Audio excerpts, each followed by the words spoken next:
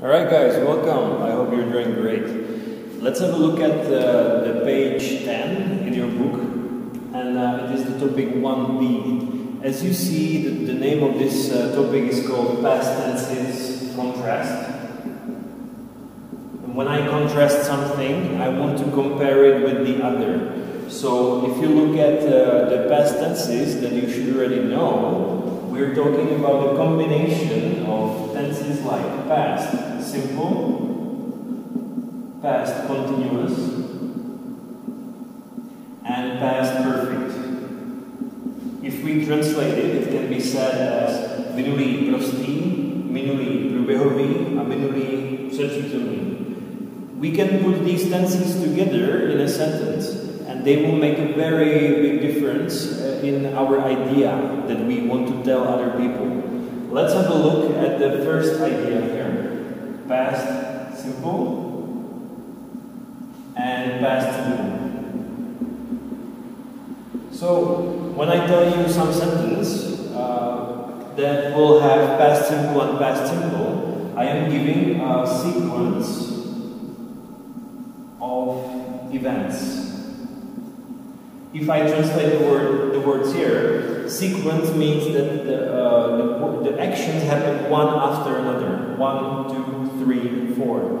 To znamená, jedná se o chronologické, chronologické akce, které se odehrávají jedna za druhou. Dáme si příklad. Let's have an example. Uh, I went home. I took a shower.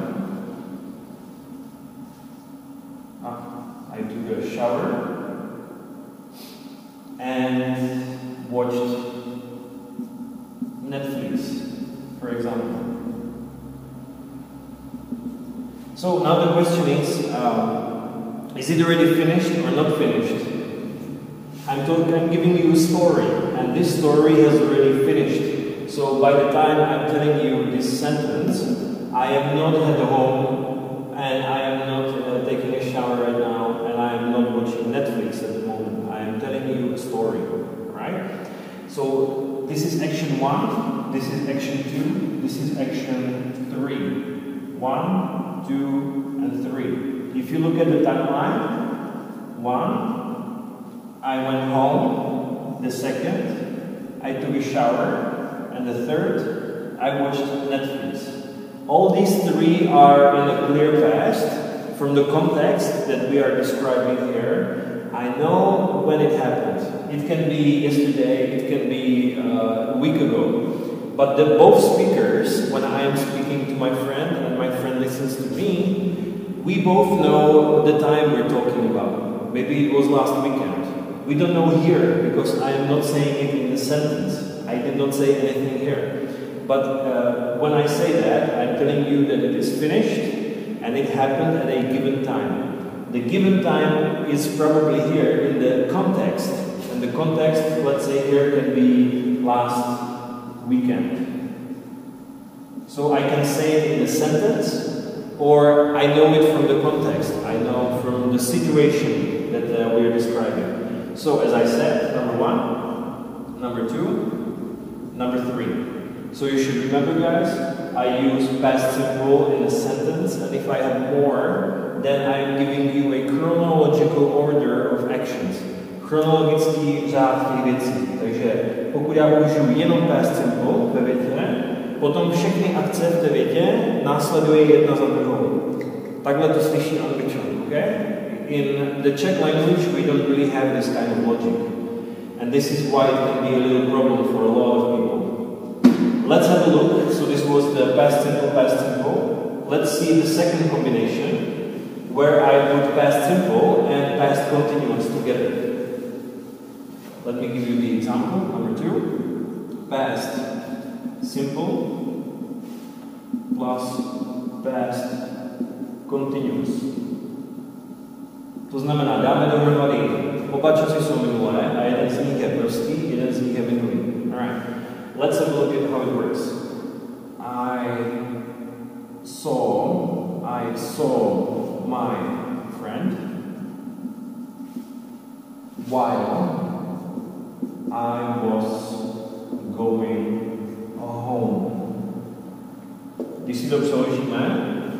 jsem svého kamaráda, když jsem šel domů. In the Czech language, we don't really make a big difference if it's uh, happening for a long time or a short time. Me seeing my friend happened in a very short time. So I would just say I saw my friend the past simple, and here I have past continuous. If you look at the timeline, it will look like this. I was going home, this action was taking some time, and then something entered this action. Something came in. I saw my friend. I saw my friend. Don't forget, everyone, that at the moment I'm speaking, it is already finished. So I'm here, I'm in now, and I'm describing two actions in the past that are already finished. From again, from the context, I can know when, but at least I know it's finished. There is no effect on uh, the current situation, and I know that something was happening for a long time. I was going home. I was in the process of going home, and then I saw my friend. It just happened very quickly, and it happened while while I was going home. Now, I can also say the same, sentence and I can switch it and I can say, I was going home, I was going home when I saw my friend. This sentence is exactly the same, but you should see that I have I used the order in a different way. It doesn't matter if you want to say the process first then the one-time action that came into it, or if you want to tell me the one-time action and then the process. The only thing that differs here is the conjunction. If you want to tell me the one-time action that will come later, then you should use when. This is for one-time action. This is for the simple Alright? For past simple in our situation. And while is for uh, describing the process. So after while I use continuous and after when I use the one-time action. So again, I'm telling you a story and this time I'm describing that one thing was happening in the background. Na pozadí se dělala nějaká věc. I, was going home, alright? And then something came into the middle of this background action. And that was me seeing my friend. Okay, this is the second situation. The second possible situation for using past tenses. Now, let's see how I can combine how I can combine the third situation. I can use past continuous and past continuous together. Alright? I'm telling you a story and I'm giving you two actions that were happening at the same time and they both took some time. Let's have a look at uh, how it works. The first one is here and the second one can be here. So, I was taking a shower while, uh, let's say, the telephone the telephone was ringing. So, I am not taking shower now, and the phone is not ringing right now. We both know that this is finished. Because at the moment I'm speaking, those both actions are finished. We are in the past. That means that these two actions were happening for some time. The first one is me taking a shower, Obviously, the phone started ringing after I went into the shower, and it stopped ringing when I, before I left the shower. So this one is the telephone ringing. Okay, telephone was ringing, and then uh, I was taking a shower. I was taking a shower. Okay. Now, I can say the same thing in the previous uh, context. I can say, I was taking a shower when the telephone rang. And this would be the past simple. To znamená, já jsem se sprchoval, když telefon zazvonil. My bychom v češtině použili vidím v tomhle. teď si to trošku dáme do kontextu. Uh, když řeknu, I was taking a shower while when the telephone rang, pokud použiju jenom přítomný uh, minulý prostý, potom se bavíme o tom, že ten telefon zazvonil. Ne, nezdůrazňuji, že to trvalo nějakou dobu. Chci říct, že ten telefon zazvonil, zatímco já jsem byl v té slyšení. Okay? And if I say, I was taking a shower while the telephone was ringing, já jsem se sprchoval, když ten telefon zvonil. Ne zazvonil, ale zvonil.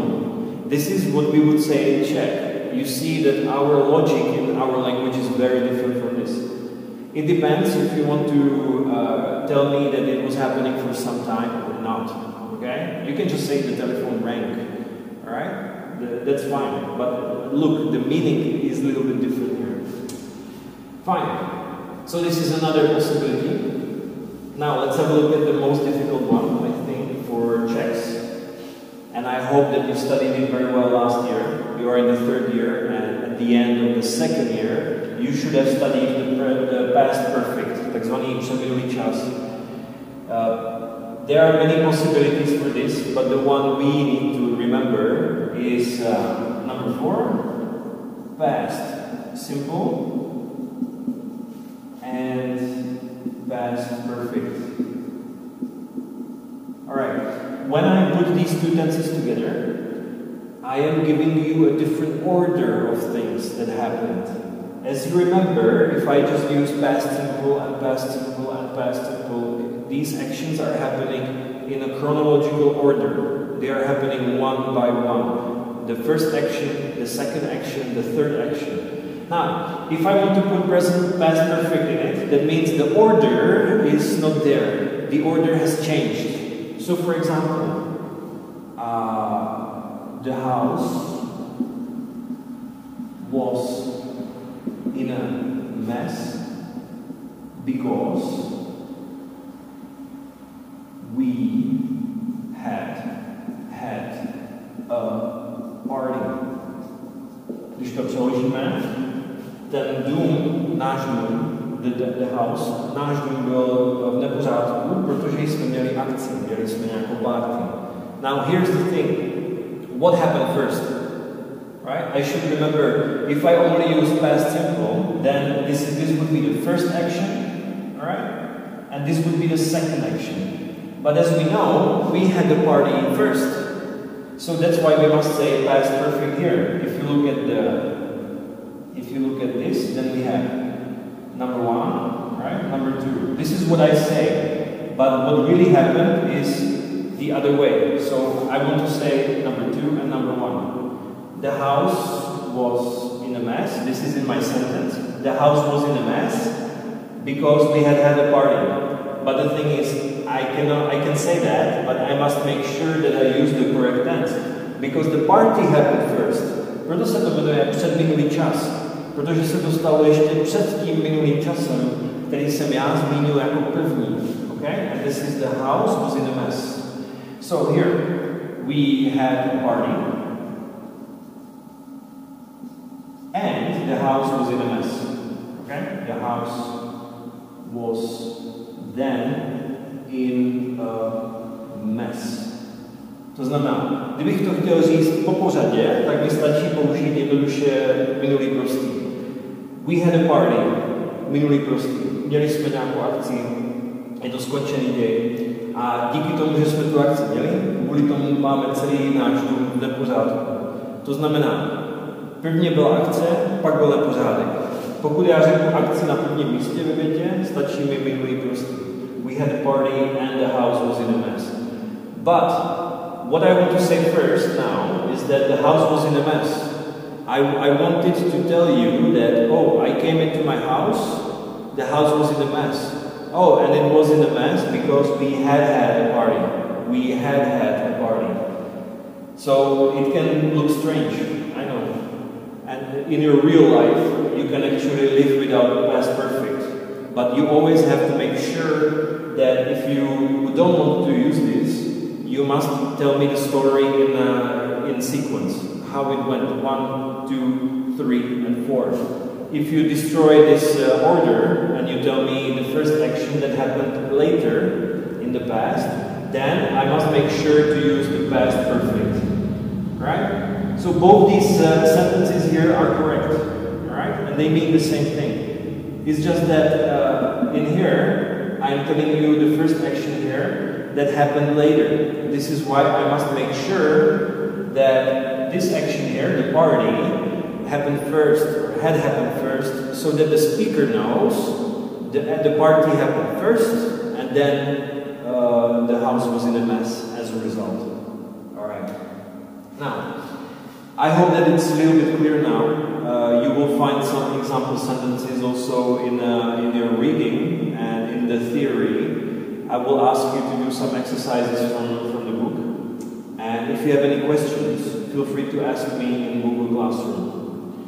One last thing I think that we should discuss maybe uh, the form, but I'm sure that you know it already. At least you should know it. So let's have a look at how we form it. Past simple, right? Past simple.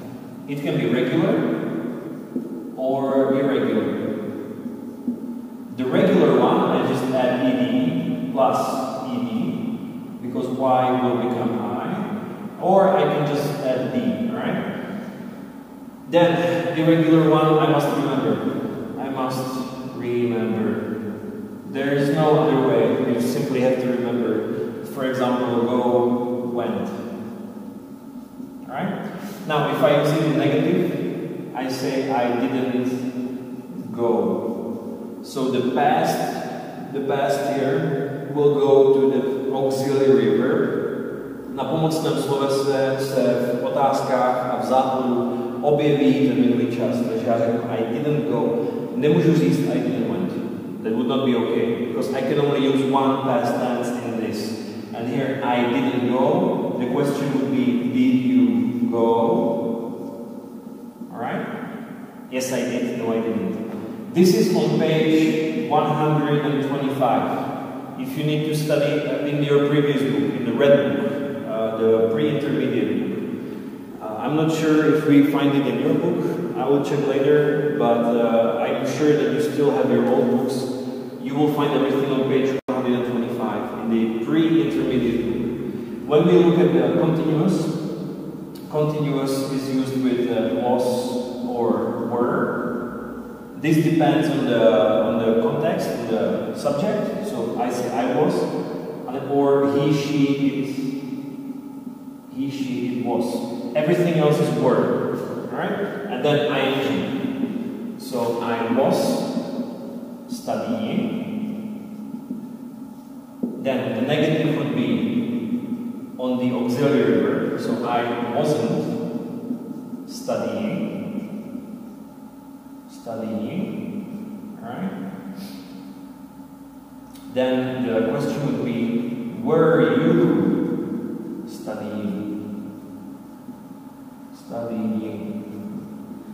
answer would be yes, I was, or no, I wasn't. Just like the answer here would be yes, I did, no, I didn't. We have to say the auxiliary verb in the answer. The short answer always uses the verb from here, the first verb that we use to make the grammar point in. And the last one, past perfect. The logic is the same uh, for the forms, but you have to remember the different words here had, and then uh, past participle. Třetí Maybe this will help you more. Alright? So uh, I would, I'd seen. I had seen. I can also write it as I'd seen. I had seen uh, a lot before I Než jsem se přestěhoval do Číny, tak už v té době jsem viděl toho hodně, ještě předtím, než jsem tam byl. To znamená, já jsem toho viděl dříve víc a potom jsem se přestěhoval do Číny. That's the idea. So, uh, don't forget that past perfect cannot stand alone in a sentence. Ve větě skoro nikdy tento čas nestojí samostatně. Já potřebuji mít nějaký bod, od kterého se odpíchnu v minulosti a vím, že to, to co následovalo potom, co následovalo předtím, to, co se stalo předtím, ve větě následuje. Takže já musím říct, yeah, I had seen, uh, I had seen a lot before. I'm not saying that I saw a lot. And then I moved to China. I can also say that, but I need to change the word order. And uh, the negative, I did not seen. You can also say I hadn't. I hadn't seen. The question would be, had you seen? So be careful because here, had you seen? Because here, don't forget that we keep this form. Unlike here, we have did you go? The past tense goes to the auxiliary verb. But here we have had you seen? Yes, I had. No, I hadn't. Seen must stay in questions and negative. So the, the past participle doesn't change. It still stays there, no matter what. Alright, so if you have any questions about this, I know this can be a little bit tricky. Uh, if you have any questions, feel free to ask me. I will see whether you understand or not understand uh, in your exercises. So I'm looking forward to seeing your uh, exercises and uh, we will carry on after that. Thank you so much for listening.